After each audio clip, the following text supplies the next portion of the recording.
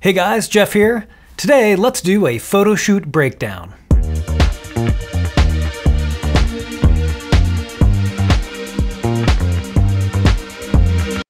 Hey guys, Jeff McLain here, staff instructor at Rocky Mountain School of Photography. We're out here on the Alberton Gorge, down here on the Clark Fork River. I'm here with my good friend Erik Nielsen, whitewater kayaker, and we're doing a portrait session out here, waiting for sunset to show up so we can maybe get a little more color in the sky. I'm gonna be shooting some tungsten film. I'm gonna be shooting some digital, uh, kind of a mix of different things. It's gonna be fun, let's check it out. All right, so that's what's happening. We're down on the rocks along a river just outside of Missoula here and we had to get some special permission to get down there, uh, private property and all that. But the original concept was I wanted to photograph my friend Erik, who's a whitewater kayaker, and I wanted to try out a tungsten film that Cinestill makes. I thought it would be kind of cool to shoot some film. But while I'm there, I'm going to shoot some digital as well. I actually had two different film cameras, and I also had some regular portrait film that I thought I'd fire off as well, just to kind of have that, you know, just something different happening. So we can see here in this video, we're looking down on the river and if we stop here, this is the crew that I brought down. Basically from left to right, we've got uh, Mike, who is our social media manager currently, and he was actually acting as my photo assistant, handing cameras back and forth for me, as well as getting some behind the scenes. Hiding behind him is one of our current students, and he's got a video camera that he's using, and he was one of the ones who filmed this video that I was able to cut together. You can see I'm standing on the rocks there. It's a little hard to tell, but I'm standing on this precipice where there's basically a death gap right in front of me. You know, if I were to fall in there, aside from broken bones, I would be dumping right into this river, which is just rushing by and it's very cold. So a lot of our attention was on making sure that nobody fell into the river in this spot. It's a very steep incline to get down to this area. You can see there we have uh, my assistant Josh, who is a graduate from the professional intensive program, and he's holding a softbox there with my strobe light and a grid on it, and it's attached to a boom pole so that he can he can raise it up high enough in the sky to get Rembrandt lighting on my model.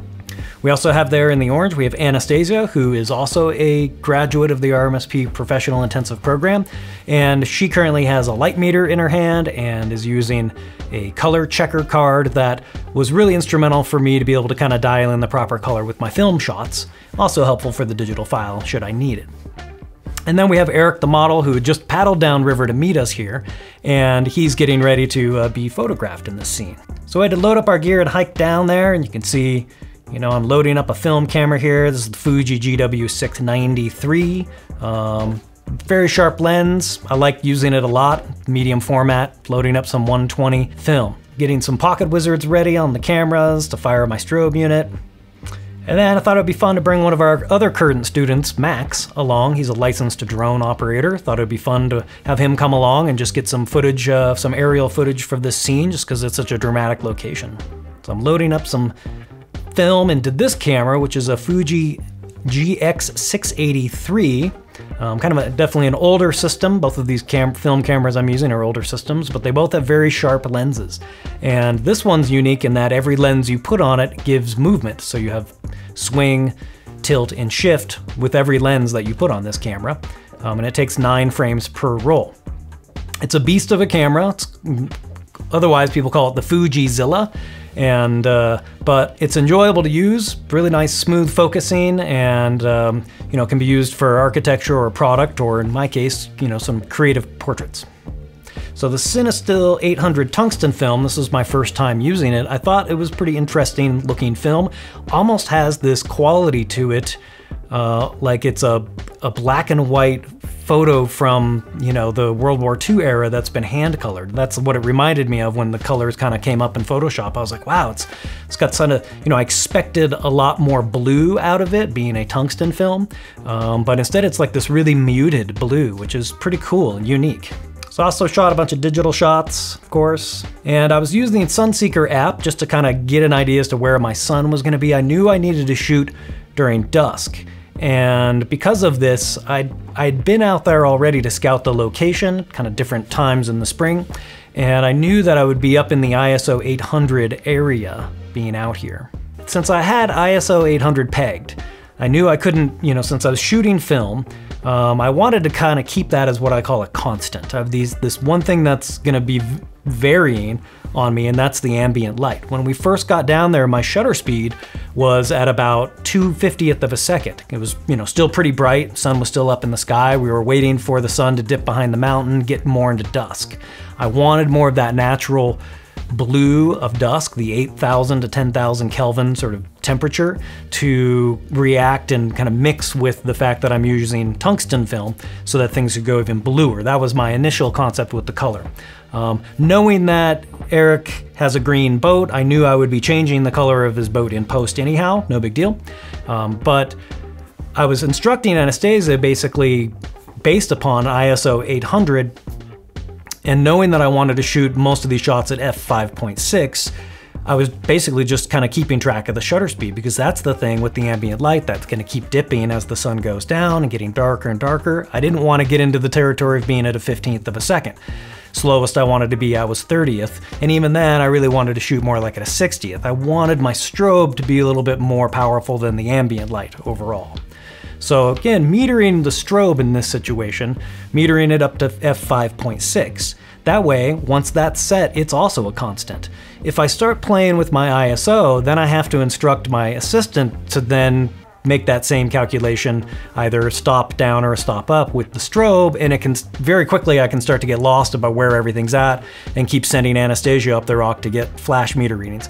Instead, I'm deciding to peg my ISO 800 down, knowing that that's the film speed I'm using, and I'm just gonna shoot on that with my digital camera too, no problem. And from there, I'm really just getting shutter speed readings along the way. And then when it came time to shoot, from there it was just a matter of instructing Erik into different positions. You can see he's also on this precipice, kind of over this death gap that I call it, and he didn't have a lot of room to move. But the coolest part was is uh, the first final shot that I show you here was the shot that I imagined. It was the one that I had in my mind. I said, you know, what what am I looking to do? I visualized this photograph, and this is the tungsten 800 Cinestill film. I, because I'm shooting with the tungsten film, I knew all of my ambient light was gonna go very blue like this, and even more so on, on using, a tungsten film, even more so going into dusk. And that's what I wanted. I wanted this play between changing his boat to this orange against that blue and the fact that he's wearing a blue dry suit. What I didn't know is exactly what this film was gonna look like. Um, but I was pleasantly surprised. And, and using the Fuji 680, I was able to put a little swing and tilt in there so that it's really just his face and some of his boat that's sharp and you can see the focus falls off. Certainly this sort of thing could be emulated with a tilt-shift lens on 35mm cameras, no problem. Um, I even sat down to try to see if I could emulate this look using Capture One Pro um, and Photoshop, and I just couldn't get it to look just like this. You know, there's a number of techniques you can use in post to create that tilt swing sort of effect. Just didn't have the same look, and I couldn't get the colors to look quite like this. What was interesting to me is that at that time of, time of night, even darker and darker, because we're down in this like gorge, it's real dark down there compared to the brightness of the sky out there looking towards sunset area. But even then on the film, there's tone in that area. Whereas on the digital file, that area was just 255 across the board, totally blown out. Um, I couldn't even really bring much back with a highlight slider. It was just gone. It was many stops brighter than our, ambient light in that gorge, which I knew when I went into it that, that was going to be the case, and I was just going to be letting the sky go. You know, there's only so much I can do about that, unless I have an ND filter that's in that shape that I put in front of the lens and things start to get kind of awkward at that point. You can see here, this is the digital capture. Um, again, setting my camera at 3200 Kelvin and I've got a full orange gel on my strobe, which is converting it back to closer to daylight with a little bit of warmth in there. And uh, I liked how this came out as well. It doesn't have that swingy look but um, I thought it was pretty cool. And then we've got the Portra 800 film, which is a, a different look altogether. In this case, since I was going into a daylight film, I had to remove the gel at the end of the shoot off of that strobe so that it wasn't overpowering it with orange light, have my assistant drop it by about a stop, um, gave me another meter, reading, made some adjustments back to f5.6, and we were good to roll. Again, you can see some tone in the background there in the sky, which I thought was kind of interesting. So you can see even working with strobe light that time of day is important because if there's too much ambient light, then you need to either get some ND on your lens or you need to be working with high speed sync strobes. Or if you're working with a camera that has leaf shutter, then you can do it that way. The GX680 uh, can shoot up to 400th of a second, but even still, I knew that I could accomplish this just by waiting till dusk, and I really wanted that quality of light anyhow. So if you liked this video, hit that thumb sign. Please leave a comment down below. Let me know what you liked. If you liked the Tungsten 800 film, the digital file, or the Portra 800 film of these looks. If you want to see more of this content, feel free to subscribe up there, down there, hit the little bell to get notified. This is a lot of the stuff that I teach here at Rocky Mountain School of Photography in the Professional Intensive program. Studio strobe lighting, lighting on location, Capture One Pro, Photoshop, video and audio capture and editing. So please check us out at rmsp.com. Thanks for watching.